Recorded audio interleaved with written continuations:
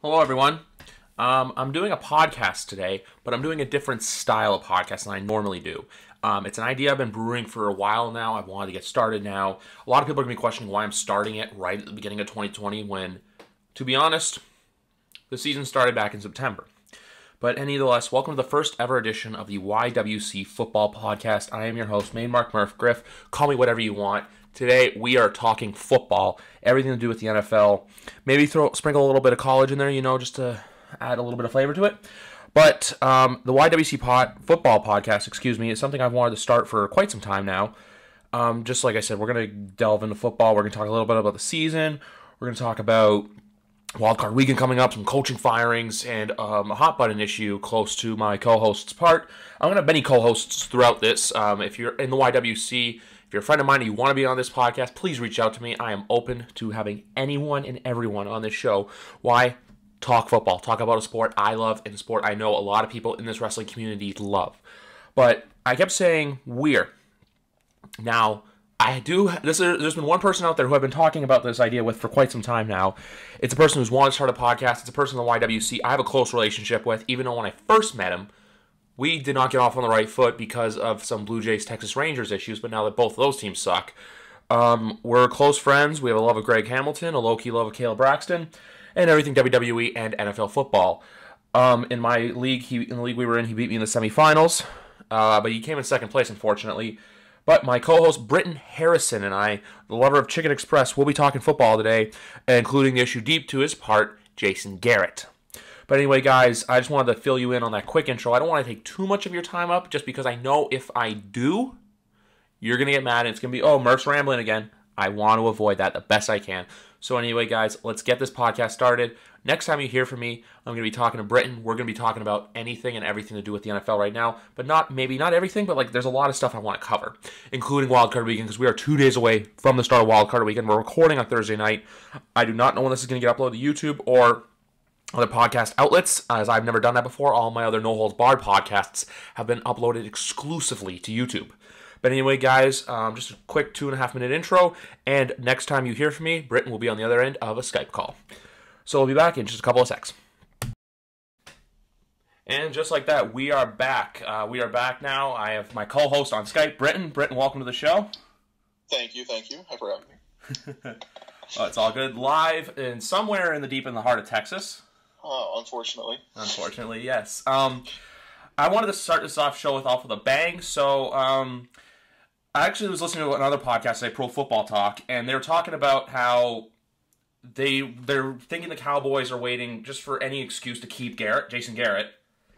And the way I'm comparing it to, it's like a bad girlfriend you just don't want to let go. Like it's like, okay, she cheated on me, but she then took me out for a nice dinner. Okay, she piece of shit shoots me like a piece of shit, but then she does this. It's like with Jason Garrett, it's basically okay, you won an NFC East championship, but then you lose in the divisional round, you lose in the wild card round. So like I don't understand what they want to do, but like at some point they got to cut the cord on this guy. Yeah. Uh, personally, I think they're waiting until his contract expires. I think it uh, expires officially on the 13th or the 14th. And I wish they would just go ahead and cut him and just save everybody the misery because there's all this speculation that oh he might stay or he might get a front office job. And no matter what Jason Garrett does in the Cowboys organization, I feel like it's going to be nothing but just misery and just failure. I've seen it too much. He's been the coach for 10 years now. He's made the playoffs three times. He's gotten a first round bye once or twice. He has like two playoff wins. Uh, uh, you have the talent of, of like a mega roster right now. How how is this team eight and eight? How are they still like, how are they the first off, number one offense in the league and miss the playoffs? How is that the number two leading uh, passer in the NFL and still misses the playoffs? It's, just, it's infuriating. And if they keep him, I, I don't know what I'm going to do. I'm going to lose my mind. It, might be the end of uh, of an era for me as a Cowboys fan. And also, too, the way I look at it as well is you have a quarterback who's going to get paid in the next couple months, who had a career year. You just paid your franchise running back, not even just like old running back, your franchise running back. You're gonna probably keep Amari Cooper. You have a stellar O line. Um, tight end is the only thing to worry about, but at the same time too, it's like you got to cut the cord. I saw, I heard that today as well. That it is, I think it's the 13th or the 14th. But and also too when they're saying all this stuff, oh, who's going to come in and replace him? At the same time too, I think it's the whole, hey, if you're going to go in there, you got to be a puppet, and I think that's the reason why he stayed there for ten years. Because look, you have a puppet that you can manipulate, and you know that's not going to speak his mind. The other big thing too this year is the Cowboys beat what one team with a 500 plus record. Like yeah, just the Rams. Just the Rams. But then even like when they had a chance to, Minnesota in prime time laid an egg. You go to Foxborough in a very good slot, that 425 slot. You only put up field goals. Sure, the weather was bad, but still. And then you go home, and I don't even know how it didn't happen after this. When you get embarrassed in your marquee game, even though I know like week 16, but getting embarrassed by the Buffalo Bills and not knock on them, Buffalo's a great team, but the fact that you couldn't even respond to what they were doing on Thanksgiving, which is like you think Thanksgiving and Dallas Cowboys, it just goes together. Yeah. And after that too, it's all stuff. Oh, hey, we can go on a run. You couldn't beat the Bears. You when it mattered most, week sixteen, laid an egg. Like I, I don't know what it's gonna take, but it's like you, it's, uh, this metaphor I don't like using, but it's like you gotta go out with a gun and just old Yeller. Like I don't know what's stopping them, and also too they have a guy in house who could get another job somewhere in Kris Richard. I don't know why they just don't hire him. He's exactly a, yeah, he's a good coach, and also too, he's going to keep the guys in line. Exactly, they they have so much respect for him, and he's such a good coach. He was the defensive coordinator when uh, Seattle had the Legion of Boom. Like this guy is no, he's no idiot. Like he he knows what he's doing, and I think he's ready for a head coaching job. He's I think interviewed with the Giants today, which would hurt if he signed with them. But I mean, he's so good, and he's somebody who I've wanted for a long time. But I just I don't see that ever happening, unfortunately, because I don't think, like you said, I think he's not somebody that's going to go in and be a puppet for Jerry Jones. Yeah, and also too with the um the other way I look at the uh, Kris Richard thing too, or Jason Garrett even back to he may go to the with Richard going to the Giants with Garrett saying, "Oh hey, if I get let go from here, I'm going to go to the Giants." I think that's a worse hire than Pat Shurmur for the Giants because, like, you saw the Cowboys didn't make any progress, and at the same time, too, if he goes to the Giants, like, you have a pro- well, your, your defensive levels are going from like here to like down here, basically, like from the top of the league to like bottom league. So we know defense is a horrible issue with the Giants right now. And like he's just saying that too because he's probably like, "Oh, I'm gonna go here, haha." Who says the Giants are gonna hire him? There's like a bunch of other coaches out there that the Giants are interviewing that I think they'd rather have, like Matt Rhule from Baylor, Eric Bieniemy, who I'd be shocked if he's not a head coach by the end of the year, and just a couple other guys. But like the way I'm looking at it, it's just like I understand if you want to also too if he if they want to put him on TV, but at the same time too, it's just like okay. I don't even think it's gonna be fired. It's gonna be, oh hey, we mutually agreed to part ways, or it just his contract ran up. They don't even want to use the word fired, probably, just because he's in the family. Like I don't know yeah. what's taking them so long and the fact that he's had like what three meetings now with the Joneses and they still don't have any kind of resolution. Yeah, it, it doesn't give me any faith that like I, I, think that instead of like there was that rumor going around that they fired the entire coaching staff. I think everybody in the front office needs to go. I think the coaching staff minus Jason Garrett right now is fine. I think Kellen Moore is going to really prove himself in uh, the second year. I think that uh, Rod Marinelli really has a thumb under the defense. Like the defense is the best it's been since the '90s. The only weakness just, I would say with the defense is probably the secondary. They've had some spotty moments, but that's mainly injuries. Yeah. But like they got a good front seven, they got a good linebacker. Even though Sean Lee's a band aid, but Leighton Vander Esch is just still up there. Like he's one of those guys where you see in the play. But yeah, like even to if you promote Chris, like get rid of Marinelli and just bring Richard in to control the defense, because like you said, he was in the Legion of Boom, and the Legion of Boom was in its prime. Guess what the Legion of Boom did? They won a Super Bowl. Something the Cowboys haven't done since I was two years old. I'm 26 now. That's right. Yeah. I was six months old last time they won a Super Bowl, and it hurts. Yeah. Like it's just one of those things where it's just like, and even too like how it's always oh people talk about the Cowboys and everything, and how it's like oh you get annoyed by the Cowboys, but at the same time too they're the face of the league. Like it's one of those marquee teams where they could be, I don't know, have a season like the Bengals did. They're still going to get Sunday night football. They're still going to get Monday night football. They're still going to be on Thanksgiving. You're still going to tune in. Why? Because it's the Dallas Cowboys, and you want to see what happens. And I'm guilty of this too about just saying a lot of the Cowboy fans, the ones who are like wearing their jean shorts and the blue and white Jordans with the We Them Boys. This is our year, like Cowboys for life. Those are the fans that annoy me. You're the most sensible Cowboy fan I've ever met. Yeah, but when I, it comes, I try to keep it real.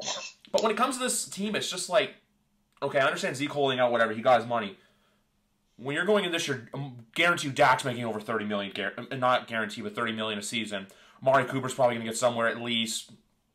I don't think he'll get Michael Thomas money, but he'll get somewhere close to it because he can use him as like a reasonable comparable, saying, "Hey, like I know Michael Thomas on another level. We'll talk about that in a bit." But with Amari Cooper, he's a great product coming out of college. Was a little misused in Oakland, now Vegas, but he's there. The only issue I would have with the Cowboys offensively right now is just tight end. Yeah, uh, I, I, would agree. Yeah, uh, Jason Witten, I, I, love the guy, but there's no reason he should be starting for this team right now. No. Blake Jarwin uh, looks like really good. I mean, he's quick. He can catch the ball. I don't understand why he's not the starter right now, and I hope he is next season, whether Witten comes back or not, because that guy's going to be special. And even to the rumors of, oh, we want to hire Jason Witten as a head coach. It's like, no, you don't need a, pl- a player that everyone loves to be head coach. Look at what happened with Freddie Kitchens in Cleveland. Oh, you take, oh yeah, we want Freddie.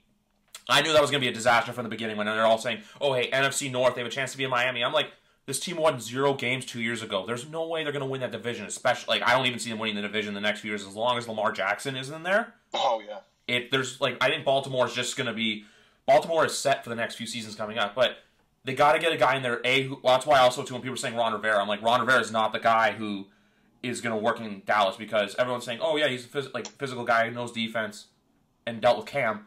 Jerry Jones is on another level when it comes to ego, and if you push back at him, Jerry Jones is going to let you go. Mm-hmm. Yeah, uh, that, that's why Jason Garrett's been there so long. Like, like you said, he just he, he just has to have yes men around him. He's like Vince McMahon. He just he has to think that. Uh, that's another topic for another time. I, I hate that whole front office. I, I, despise them. And we also know too that his son Stephen Jones is going to own the team one day once Jerry passes, like how Triple H is going to take over for Vince. Yeah. But just even to like, and speaking of the let's keep in the NFC East because I know Ron Rivera was hired as the Washington Redskins head coach, and they brought in Jack Del Rio, another guy Dallas was looking at. But guess what? Division rival scooped him up, and now. I love the hiring of Ron Rivera. I think it's the first sensible hiring that the um, Redskins have done in a while for head coach. But at the same time, too, I'm not coming out here and saying, "Hey, this three and thirteen team is going to be ten and six next year. They're going to run the table." No, hey, they'll probably win. I'd say six and ten is their ceiling. But at the same time, too, it's a move in the right direction. You know they're going to get Chase Young in the draft, something that Giant fans absolutely hate right now. Because, like I said earlier, that team needs defense. I'm sorry, but guys like David Mayo aren't going to carry your defense, especially too when you cut Janoris Jenkins. I know the circumstances behind it. I don't want to get into it. It was bad. But at the same time, too, you know, Giant fans are going to be salivating at that. And also, too, you have Dwayne Haskins. You've got some weapons in there. You got Ryan Kerrigan on defense. It's a move in the right direction for the Washington Redskins, but it's all ultimately uh, let's see what happens. And also, too, like you know how we are talking about Jason Garrett, ten years nothing's happened. Look at the Redskins did cut Bruce Allen, and now there's actually hope in DC that hey, this guy's gone. Okay, now we may be moving in the right direction. Yeah, and as a Cowboys fan, like that Ron Rivera hiring, it's kind of it, it, does scare me because the guy's good. He's been to a Super Bowl. He knows what he's doing. He's a good coach. And then you bring in somebody like Jack Del Rio, and then they already have a, like you said, a good young offense. Terry McLaurin and Dwayne Haskins. That's going to be a deadly combination for a few years to come. I feel like, and I, I feel like if they play their cards right, they might end up better than Dallas for the foreseeable future. The only thing I have with them is I know they have Adrian Peterson right now, but he's on the verge of retirement just because of age. But if Guice staying healthy is the biggest question. If he can stay healthy, yeah, that six and ten may become a seven and nine. But if he can't stay healthy, then I don't know what. Like that's the only question with me is running back. Also, because I don't think Chris Thompson's really that much of a franchise running back. Meanwhile, Guice has that appeal when healthy because we've seen what he's done when he's healthy. It's just unfortunately he's one of those guys where he tore his ACL in his rookie year, and then this year too he's just plagued by I think knee and ankle problems. Yeah, uh, that's I forgot where I was going with that, but like yeah. I lost my train of thought. Sorry. Uh, it's all good. Um, if we want, we can move on to uh, let's actually move on to Wild Card Weekend, just because I also do with coaching firings. Pat Shurmur, you could see coming. I could see coming from where Britton is right now in Texas that he was getting fired. Anyone who thought, or him saying, "Hey, my job safe?" When you're saying that in the middle of December, when your team's won three games, sorry, you're getting fired. And also, two is the right move. I don't. Also, they have to get rid of James Bettcher, in my opinion. Um, Freddie Kitchens, the same thing too, was obvious. And besides that, until Garrett happens, I don't think any other firings are coming. I think there's some coaches I can go on next year are going to be on the hot seat, like an Adam Gase, um, Matt Nagy. Um, and also, too, when I heard that the Arizona Cardinals were talking about, oh, hey, they're going to have a meeting about everything, I was like, Cliff Kingsbury's actually done a lot better than I thought he would. If anything, I think it's Steve Keim that needs to get fired. Arizona needs like a new management restructuring, especially now with Michael Bidwill in full control. But Arizona's honestly a team I look at at the future. They get offensive line help, they get some defensive help, and maybe another weapon or two for Kyler Murray to have. That's a team to look out for. Not now, but I'd say by 21 or 22. It's a good Oh, yeah, team. look- yeah. Look at Kenyan Drake. I mean, he came out of nowhere. Miami misused him. Uh, then he came back and won me a fantasy championship. I love that guy. I'm gonna buy a jersey. yeah, like even with him too, like his first game was like he did nothing with Miami on a short week, nonetheless, against one of the best defenses in the NFL. Ran wild against San Francisco, and also too like the games, uh, week 15 against Cleveland ran wild. Like I don't think he had a fantasy day that was. I think maybe had since Arizona he had one day under 10 points. Yeah, he'll be a high he'll be a high commodity next year for fantasy. But less about the crappy teams, more about the good teams. Wild card weekend we got coming up right now. First game I'm going to talk about involves the state of Texas, which is the Bills and the Texans at 4:30. Which honestly, a lot of people say this. Call this the Houston Texan game because if they're in the playoffs, they're playing 4:30 on Saturday. Like it's just the truth. ESPN's there. Uh, Tess and Boog calling it. Um, but with this game, I'm going to come out and say it. I think the Texans lose. I think their season peaked after beating New England. And two, um, I think Buffalo's just a better like like I said, they peaked, and then also two, man, so just something about Buffalo is special this year to me. Yeah, I mean, I haven't really seen too many Buffalo games. I watched the Thanksgiving game, and I, I think I watched a, maybe if they the Bill Steelers game, I watched that one. They look okay, but the Texans, I, I feel like they're either really really good or really really bad. There's no in between for them, and I- it's so hard to determine like how they're going to play it. I feel like. I also think too, it's either they're really really good or holy fuck, look at that injury report. It was like Will Fuller can't. If Will Fuller's healthy, that's a deadly team, but he's questionable this week. J.J. Watt's pulling John uh, John Cena out there, coming back like not even three months after tearing his pec. You don't know what he's going to be. Their offensive line's been spotty for years now. Sure, you got Laremy Tunsil, but there's some guys on there. Even too when they beat New England, I noticed this. There's some guys out there that cannot block. Like they need to invest money in their offensive line. Even though I'm going to go back to another crappy team. Even though they didn't make the playoffs, Mike Mayock went out there and spent money on those offensive line, and it made Oakland that much better of a team. So I'm thinking if Houston Texans can go out there, draft some good old linemen, and develop that, that's going to make them a contender. Because also too now they've got a good secondary. It's just health. That's the biggest thing with the Houston Texans is health. And also too, I just think, like I said, I think they peaked after beating New England. It's like how it's oh they get this big victory, then they laid an egg against the Denver Broncos, which that also just looks bad too because then Denver has this great game, then Kansas City just rolls over them. Like that's why I, I still think the Bills are going to win. But at the same time, too, it's Josh Allen's first playoff game, so you never know what's going to happen. Yeah, and I agree with what you said about the uh, the O line for Houston. I mean, I, I saw a stat that said uh, Deshaun Watson is one of the most sacked quarterbacks. 60 sacks last year. Yeah, and I mean that's all. It comes down to just protecting your quarterback, giving him time to throw, giving him time to work. And if you don't do that, then you're not going to see any results. So I, don't know. I think the Bills' defense can get through that line pretty easily. I think that's going to give them problems. I'm gonna I'm gonna go with Buffalo with the upset. Honestly. Same, and even too, I just looked at the, I just wanted to look up the stats. I said 60 last year, I think it was like 60, 60 62.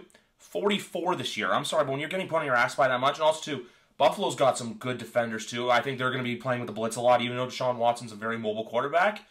You keep him in the pocket. You like they got some good DBs like Tre'Davious White, Micah Hyde, Jordan Poyer. But then too, they got like Matt Milano, Trey Edmonds, uh, Jerry Alexander, Jerry Hughes, uh, Lorenzo Alexander. Excuse me. Those guys are not going to be afraid to hit him. They put him on his ass early. They're like, it just goes back to my point. I think Houston peaked way too early this year in December. I think that defense is probably going to wear them out. Yeah. And and to the only thing I think that's also interesting too is like how I said they've got some good secondary guys. I want to see how DeAndre Hopkins plays because he's been a, like, he's been good, but he hasn't been great this year. Like he's had his moments, but Uh, yeah, it's it's so spotty. Like him, he and Will Fuller both. Like some days they'll have three, four touchdowns each. It feels like, and uh, the next game, goose eggs. Yeah, it's like the game against um, I remember Atlanta earlier this year where Will Fuller had an unbelievable day. Isn't done really anything since. I mean, yeah, that week on my bench. that was that weird week five where it was like him, Michael Thomas, Aaron Jones, and I think someone else who put up like unbelievable numbers. But on to the next game, which is a personal to me, the New England Patriots taking on the Tennessee Titans. I keep hearing everybody too. I was I watch First Take on YouTube just because I don't have ESPN here because obviously I'm Canadian. Sorry, I got text.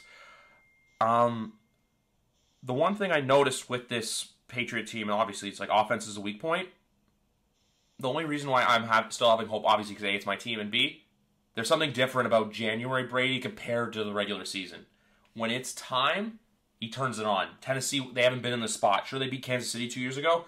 Ryan Tannehill's only played one career playoff game, and going into Gillette Stadium, that's not something that's easy to do. There's certain venues that just in the playoffs that just I think mentally can mess with the quarterback, and Gillette's one of them. I feel like a lot of people are expecting the Titans to win, and I'm not one of them. I think the Titans heated up at the at the right time, the perfect time. But and everybody also has the conversation every year around this time. Oh, it's time for Brady uh, to hang him up. He doesn't have it anymore, and it seems like every year around this time, everybody's proven wrong, and they're reminded that he's still Tom Brady. I mean, it's tough. I, I think this one's going to be a closer game than uh, probably the Buffalo and Houston game, but I still say New England. I'm the same Definitely way. Just, I'm the same way. I think the spread's like only four and a half or five and a half, but I know the Bills one's a little bit higher. But with the um, New England Tennessee game, yeah, I think it's going to be less than seven point margin of victory. Like I could easily see it being hell like a one score game, or not even one score, one point game. But like with Houston and Buffalo, I could see it being like I don't know, 24 to 17, 24 to 20. Yeah. I think the uh, Tennessee uh, New England game is going to be very defensive. Oh. I think Derrick Henry's not going to get nearly as many yards as he has over the past few weeks. I think they're going to shut that down, and I think that's really the the one thing they have to shut down the most is the run game. That's the one thing I'm most concerned about because I even remember a few weeks ago Joe Mixon on Cincinnati was running wild against this New England Patriots team. If they can do to Derrick Henry what they did to Ezekiel Elliott back about a month or, month or two ago, then I think New England will win. But if Derrick Henry has his way and has a game, they win. I would even make the argument too that if Derrick Henry played Week 16 against the Saints, Titans win that game. I, I, I, didn't see that game. I think I had to work. Yeah, I just remember being like the Titans were up early, but then the Saints kind of let down because Ryan Tannehill had to rely on throwing. I think if Ryan Tannehill has to rely on his arm, the New England secondary is going to have its day. It's just interesting in the matchups. Like, are they going to put Stephon Gilmore, who had a bad game against DeVante Parker, on AJ Brown alone, or are they going to put him on Corey Davis and then let like a Patrick Chung and a J.C. Jackson, or Patrick or like a J.C. Jackson and J- Devin McCourty because Jason McCourty's has a groin problem for a few weeks now. Are they going to double Brown and rely to there? But also they have uh, Tajae Sharpe, I believe, and then not sure who their tight ends are right now, but it's going to be very interesting Saturday night. Yeah, sorry, someone came out of my house. I had something to say, but they they disrupted my, my train of thought. It's all good. Um, moving down south again now. Uh, we're going to go to New Orleans to the Mercedes Benz Superdome Sunday. Saints Vikings. I don't think there's a Minneapolis miracle this time. I think Michael Thomas is going to have a game because Xavier Rhodes has been. I, I actually, I honestly don't care if we swear. Xavier Rhodes has been fucking horrible this year. He's not done like even in two against Washington, he's getting burned. Against Minnesota, he was getting burned. Xavier Rhodes, the only reason he's on that roster is because of the amount of money he's making. I think this game. I think New Orleans is going to win by at least ten. Yeah, I'm honestly going to be surprised if New Orleans isn't in the Super Bowl this year. I, I feel like they, it was their year last year. They got robbed. I think that I think they'll go pretty far in the playoffs this year. That, that's not going to stop with with Minneapolis. I, I it's tough because you never really know with Kamara the way he's been playing. But I feel like maybe they'll turn it on then. Now they know that it's the playoffs. They have something to prove. They have unfinished business from last year. I, I think that it'll be. I think that one's going to be a blowout. Honestly, I could see it being. I I said at least ten points. I could see it being like I don't know, thirty-five to 10, 35 to seven. I think, and also to the other big thing with Minnesota too is their run game. Like Dalvin Cook's banged up, Stefon Diggs and Adam Thielen's been banged up. Like if they can get Kyle Rudolph going, because I know with the Saints sometimes they have struggled against tight ends when tight ends are good days, but even too with the Saints, how I say Michael Thomas is gonna have a day. They could double on Michael all they want. Ted Ginn's been good this year. Tre'Quan Smith's been good this year. Jared Cook's been unbelievable. They've got something no other team has. That's Taysom Hill. Like you throw Taysom Hill in the passing game, in a tight end situation, in a receiving situation, and the same thing too with Alvin Kamara that New Orleans has so many things that are going to come at you that you don't know what to expect. Like like you said, I wouldn't shock me too if the Saints are in the Super Bowl this year, but I only say that just because part of me, I will get into it. I'll actually get into it in a second. But yeah, like I could see New Orleans being the Super Bowl, but at the same time too, I just hope the whole them thinking we should be on a bye doesn't hang over their heads just because of what happened in Seattle. Yeah, I, I'm, I'm kind of sorry. Just a second. It's all good.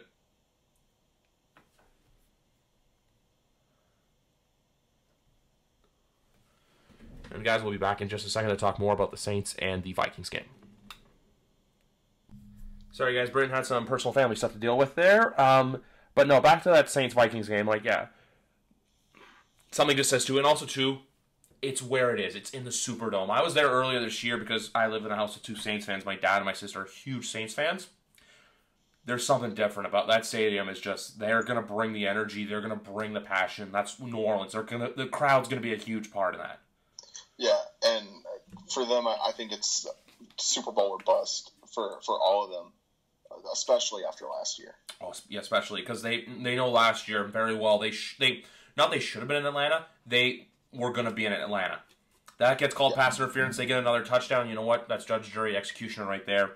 And I think the Rams' bad season's a bit of karma because of what happened. Like the Rams really haven't recuperated since. Like they, sure they had some good games, but then they had some bad games. Um, anyway, on to the next game, Seattle Philly, which is a game even to I was a little shocked Philly got in the playoffs, but you know what? Carson Wentz has been playing well with the weapons he has. If Carson, I think Tom Brady needs to have like a Carson Wentz like that, or there need to someone to step up like how Boston Scott stepped up Week 17 for the Eagles. That needs to happen. I even though Seattle's good and Seattle's got Russell Wilson, I could honestly see an upset happening here, just because it's one of those you don't know what to expect games. It's a hey Philly too. It's another hostile environment to play in. What happened in Minnesota two years ago? Minneapolis Miracle they got smoked by 30 in that building. Now I know it's not different, but the other thing too is the Legion of Boom is gone. The defense in uh, Seattle is not that good anymore, especially pass wise. They got some good runners. The big thing I think this game is going to come down to is the Philadelphia offensive line. How can they can protect Carson Wentz and also help the running game out? Because I know they are a little banged up, but you got Brandon Brooks in there, you got Lane Johnson in there, Jason Kelce. So I think that's what's going to happen. If Carson Wentz can be Carson Wentz, Eagles will win. But if not, I think the Seahawks take it. Yeah, I I hope that the Seahawks just beat the crap out of the Eagles. I, I hope they beat them seventy to zero.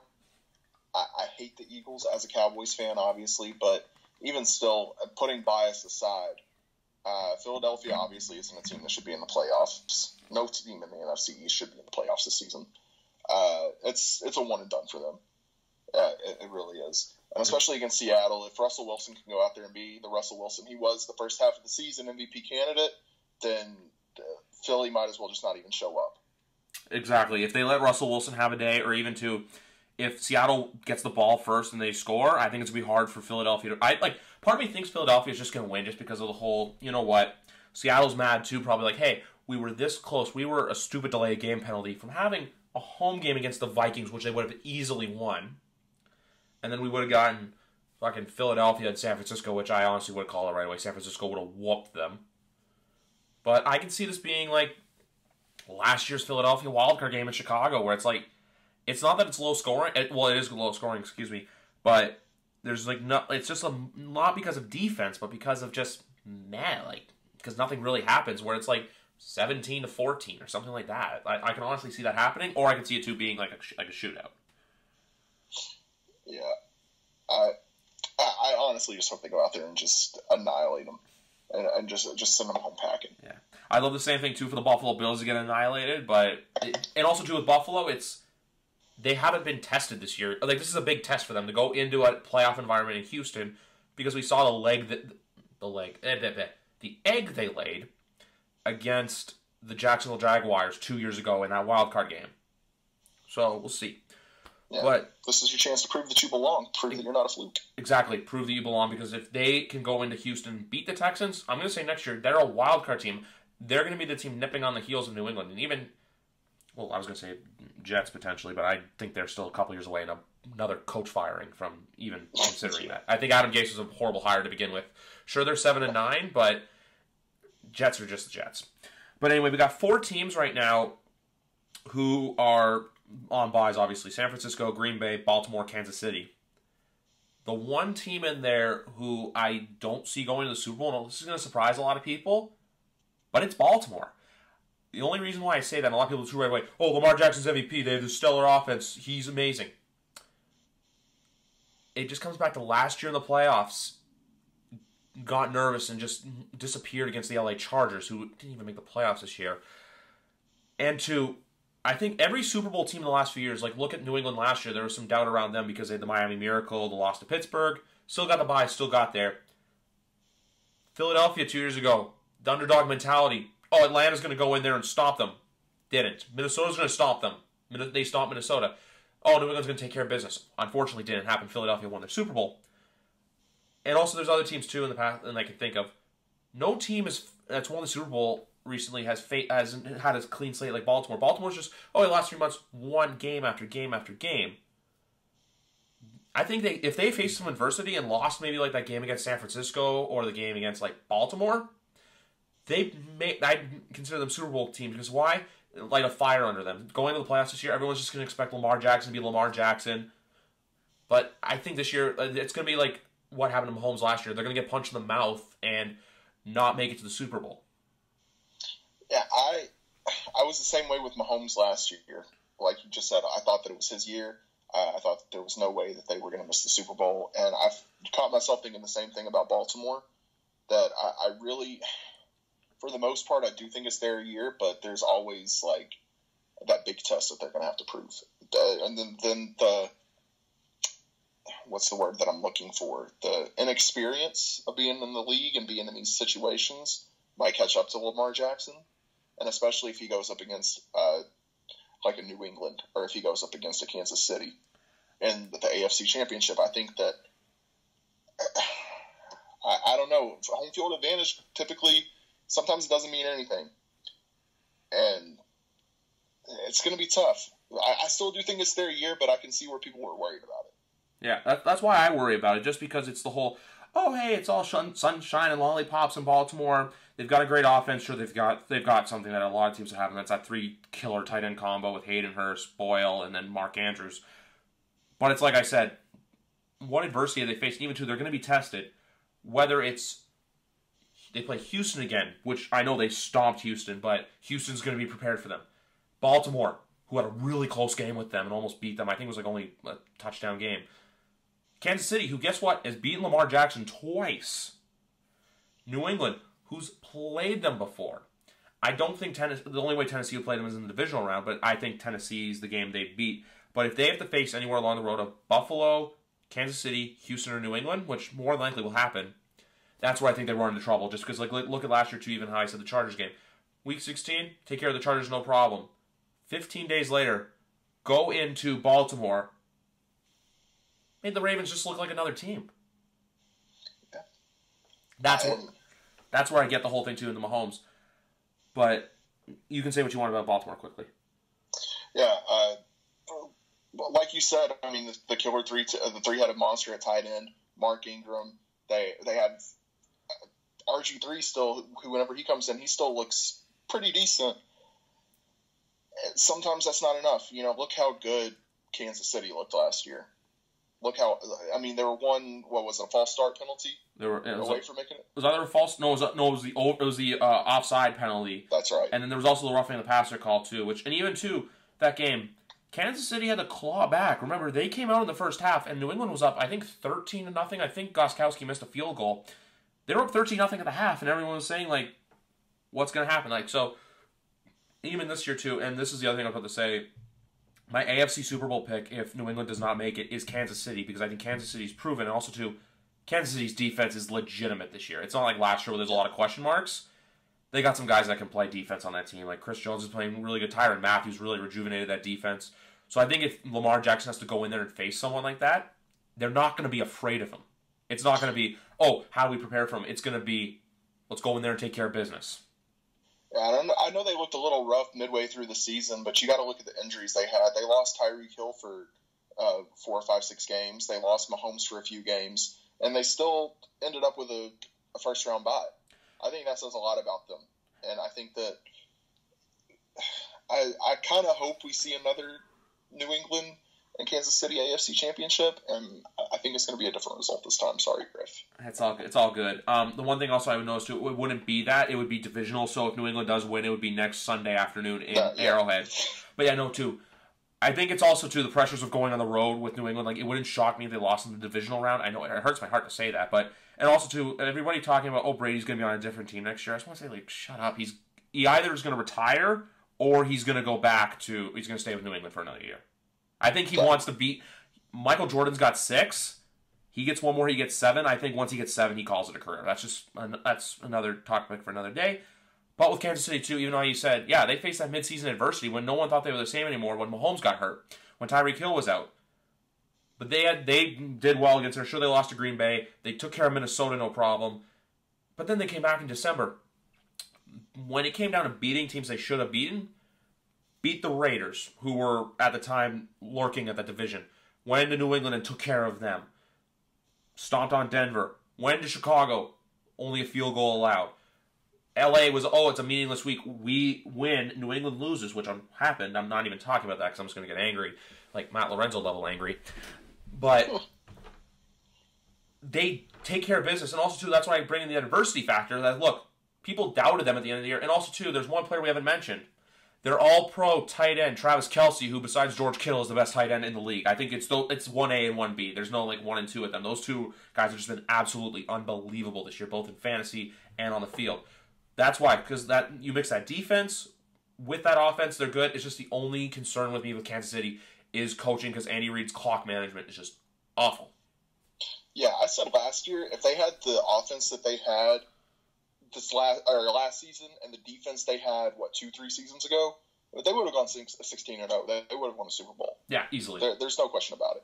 Uh, I think that in terms of Kansas City and Baltimore, uh, I think that's going to be your next like Indianapolis versus New England. Your new Lamar Jackson versus Patrick Mahomes is your new Brady versus Manning. Uh, that's going to be so much fun for so many years, and I, I, I can't wait for that. I also don't know how the first two times they played were one o'clock games. I if that is not on NBC next year, I'm gonna like I'd be tempted just to write the league office, like write Goodell being like, "Yo, why is this game not in Sunday night prime time or even the 4:25 slot?" Like, sure, there may be other games you want to put in there. There's just certain games that belong on Sunday night football or 4:25 because even though 4:25 Yeah. is 4:25, it's still a special spot. No matter if it's CBS, if it's Fox, it's the game most people tune into because the one o'clock games it gets lost in the shuffle a lot of the times. It would be like, or even to um, if like the Cowboys, if they had a couple of the games where it was like one o'clock and like they had the blunder, I think it'd be less noticed as it is as if they're four twenty five because besides the Patriots, them and the Cowboys get a lot of games at like pat not at one o'clock. I think New England only had two home games at one o'clock the entire season.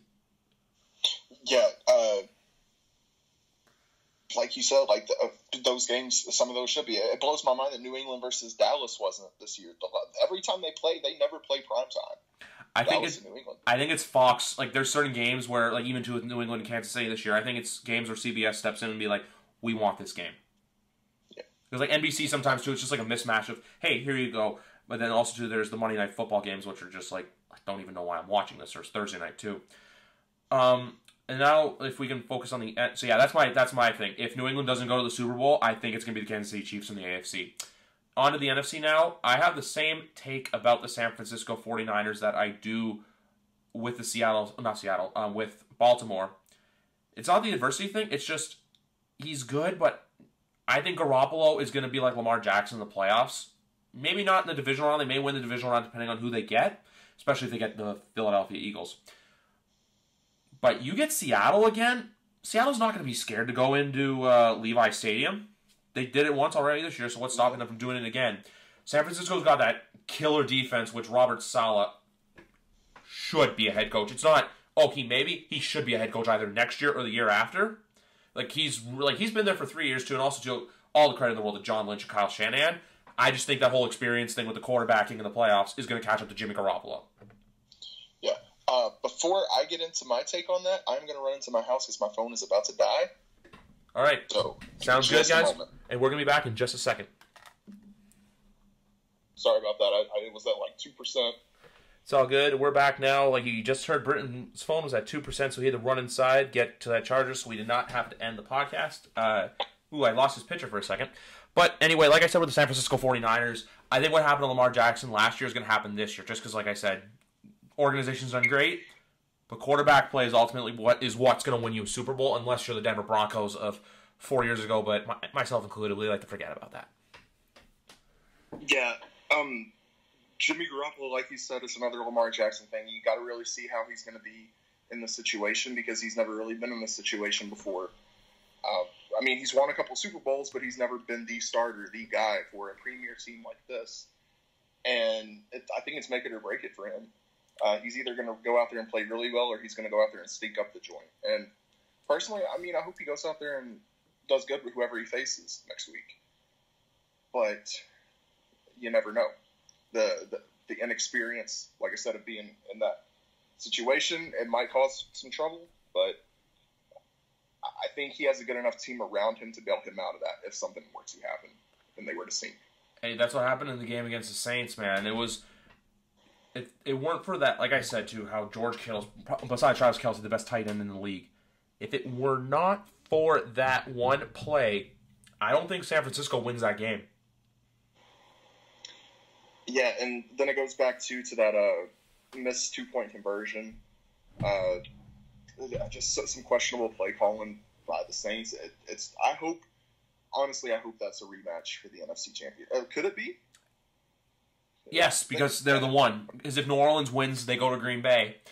That's another team I want to look at because I think more than New Orleans, I think Green Bay is under a lot of pressure just because of the fact, and I've heard this too. Like I said, I watch a lot of ESPN clips on YouTube when it comes down to talking about who's the greatest of all time, Aaron Rodgers, sure, he's in the conversation, but when Lombardi's going to get brought up, it's going to go, oh, hey, Brady's got six, Aaron's got one.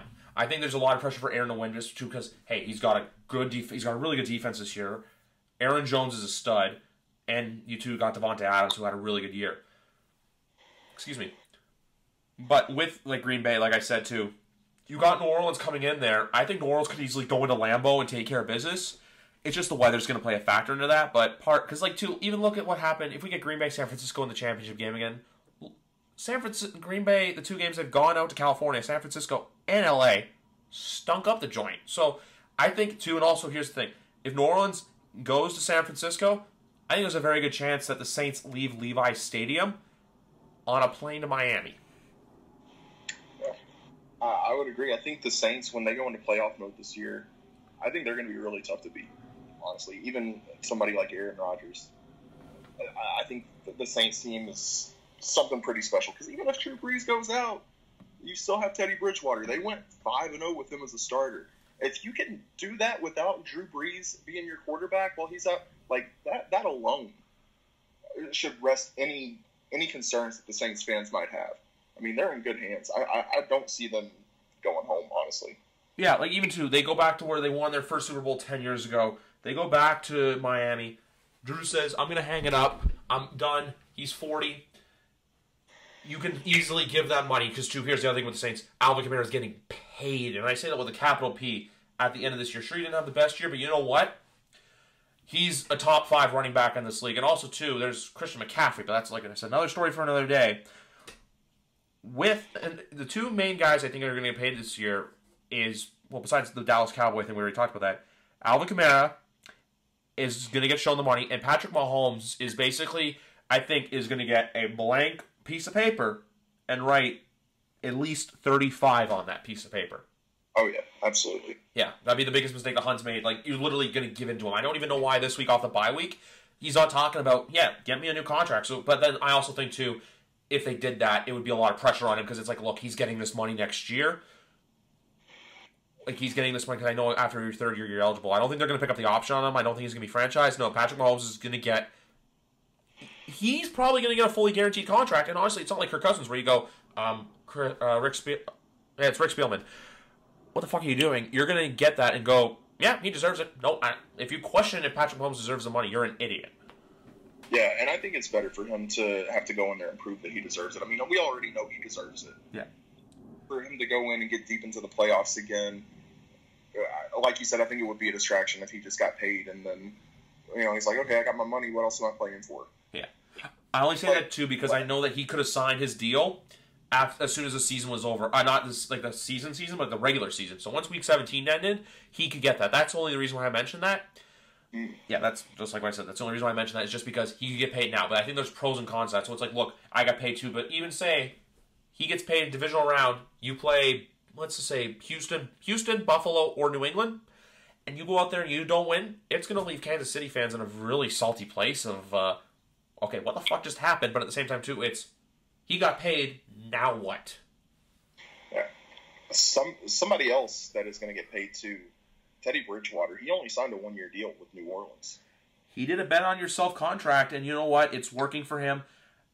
I don't think they. I think they can maybe convince him to stay, but the fact too that he went in to Seattle, beat the Seahawks, took care of the Cowboys when they were three and zero, and then he had games too against I believe Chicago, ten not uh, not Tennessee, Jacksonville. Yeah, like five and zero. The only game he lost was because he was thrown into the Rams game when the Rams were still legitimate.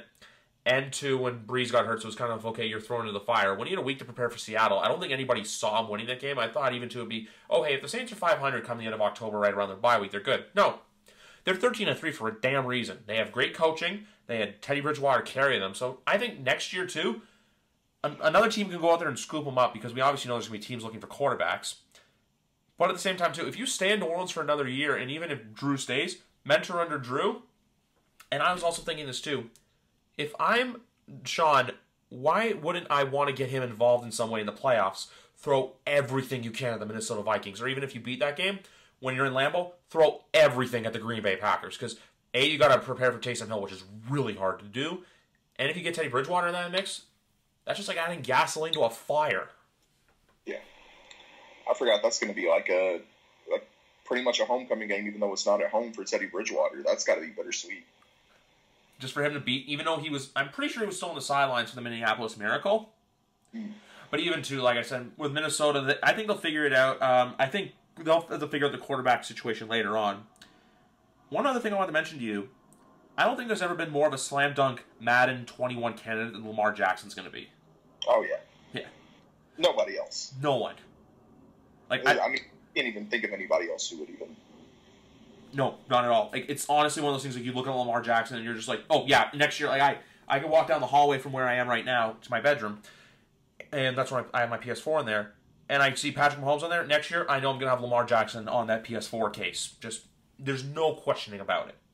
And it's gonna look so nice with that purple and everything. That's gonna be a badass cover. Yeah, it will be. Uh, anyway, let's. Uh, I want to switch gears for a second because I know you're a big SEC guy, especially Razorback. Uh, but a rival of yours, and a ti- uh, there's two Tigers battling in the Superdome in 11 days. Yeah. Honestly, with the other two games, I wanted I wanted Clemson to win just because I've never had an infatuation for Ohio State, and I'm not a big call. I, I'm not. I like watching college football. Like I don't have a team that I'm like connected to. Like you're connected to Arkansas. Alex is connected to LSU, uh, and like I know there's other people out there who are connected to teams. But I just watch it for the just for the, for the fun of it and just for the love of it. Like I watched Oregon Wisconsin yesterday, which is a stellar game. But when it comes down to this national championship, I think it's a coin toss for who's going to win. But ultimately, I'm I'm picking LSU. Yeah, I'm picking LSU too, and it's tough being a Razorback fan because we're in the SEC West with both LSU and Alabama, so probably not going to see too many bowl games for the foreseeable future. Um, I, I think LSU is really special this year. Uh, i sound like everybody else who talks about LSU, but Joe Burrow is insane. Uh, the team that he has surrounding him is insane. He has a great coach. He's under great leadership. Uh, Clemson, I haven't watched too much of, honestly. I know Trevor Lawrence is, is supposed to be am- amazing, but something about Joe Burrow.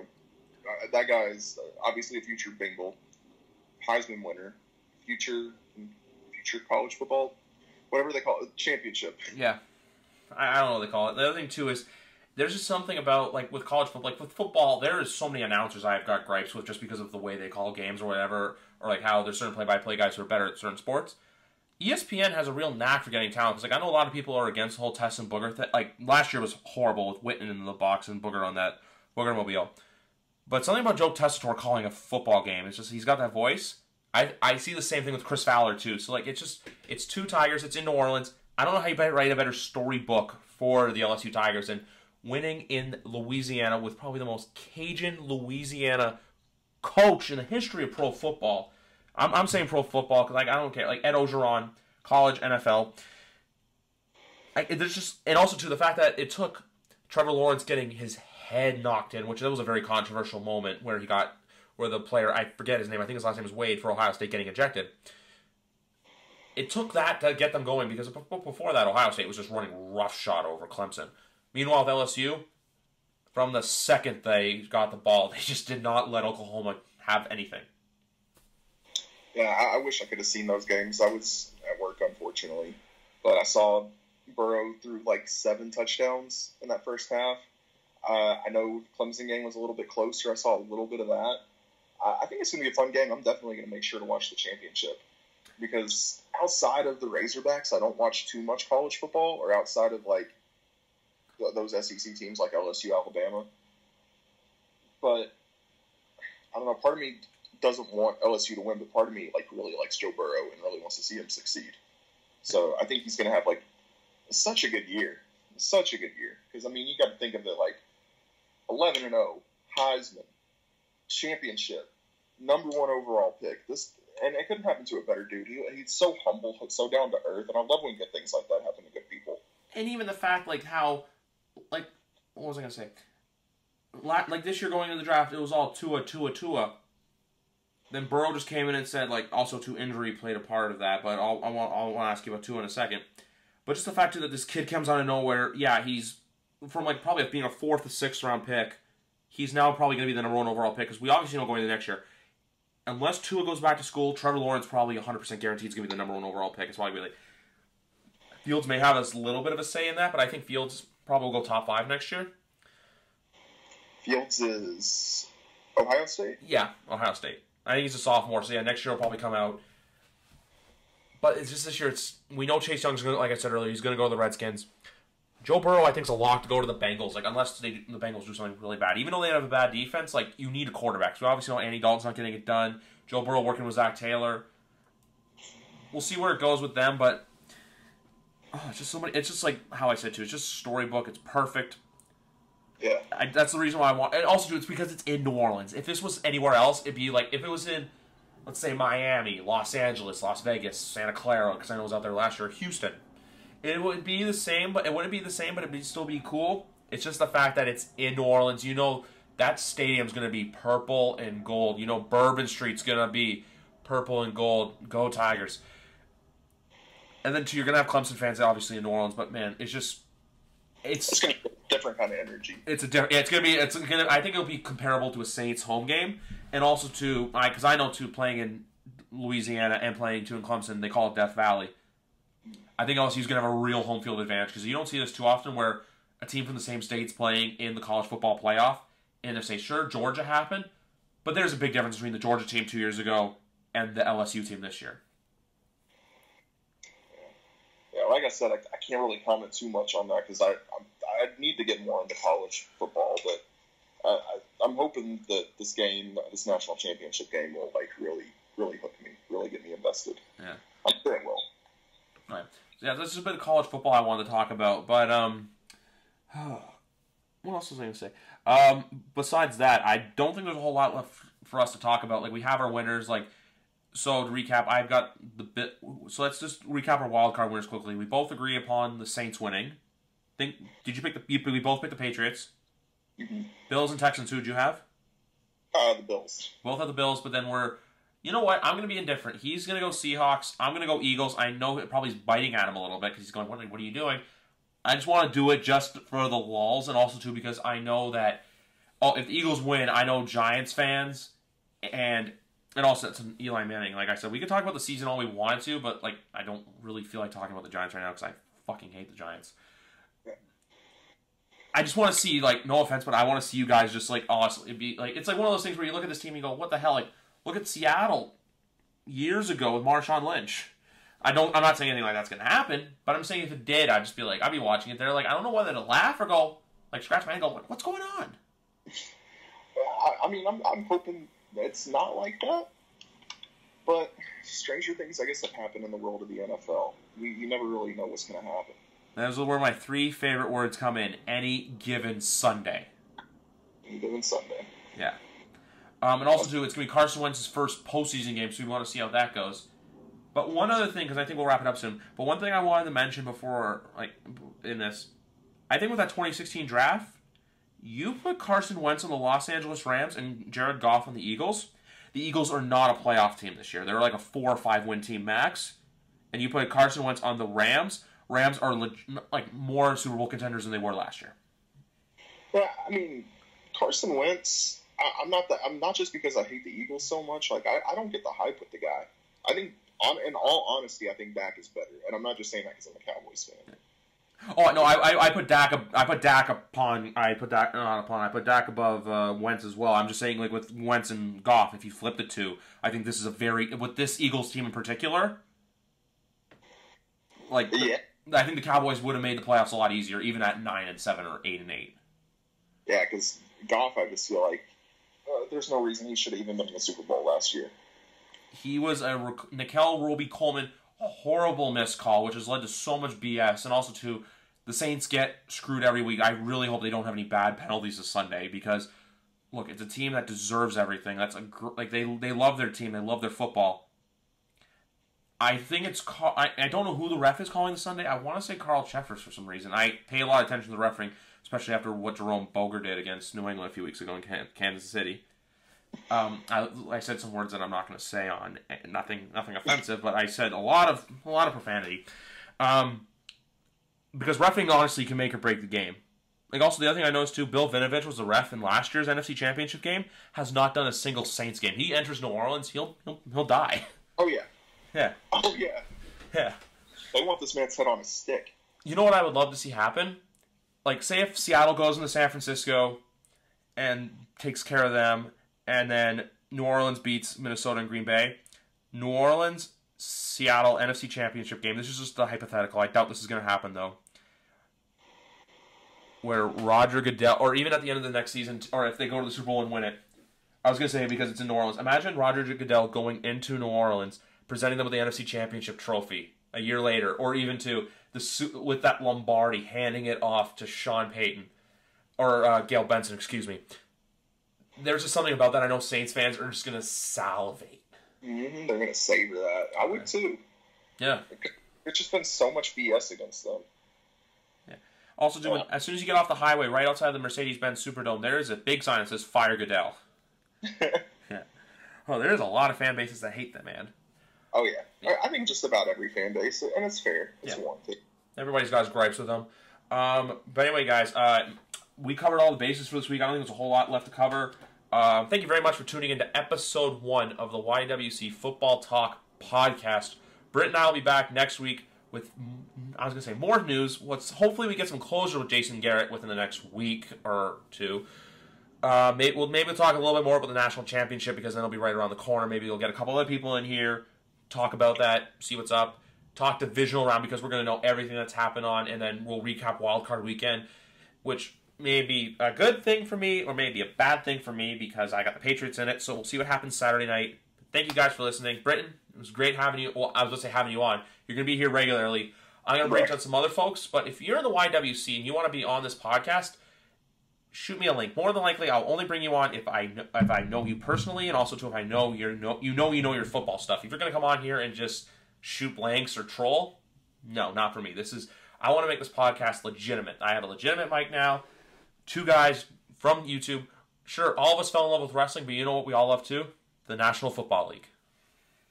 That's right. It's, it's crazy. Wrestling brings us all together, but we all share so many more interests in uh, so many other things we branched out in. Yeah. Uh, I, I, think this is uh, it's really cool, honestly.